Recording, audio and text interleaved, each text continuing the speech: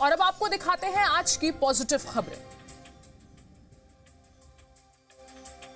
कर्नाटक के कोपल में रहने वाले शरण बसवराज बिस्सार हल्ली स्वतंत्रता संग्राम सेनानी हैं।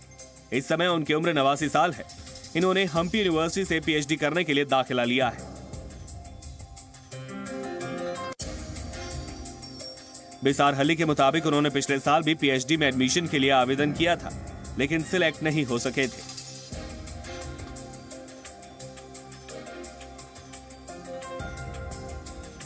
बिसार हल्ली को पूरा भरोसा है कि इस बार उन्हें दाखिला ज़रूर मिलेगा। वो साहित्य और कन्नड़ कविताओं पर एक किताब लिखने की ख्वाहिश भी रखते हैं। इन्होंने कर्नाटक यूनिवर्सिटी से लॉ की डिग्री और हम्पी कन्नड़ यूनिवर्सिटी से मास्टर की डिग्री हासिल की है।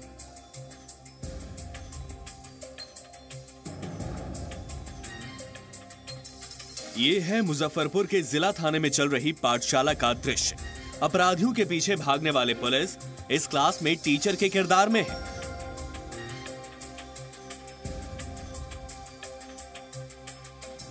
क्लास में स्टूडेंट की जगह है इलाके के मोबाइल सिम विक्रेता और बाइक मैकेनिक।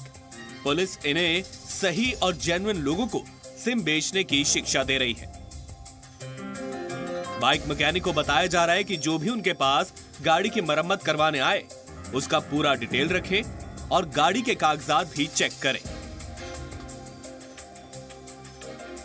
जो घटनाएँ हो रही है, उसको किस तरीके से रोकथाम करें, इसके लिए हम सारे मैकेनिक को महत्वपूर्ण निर्देश दिए हैं।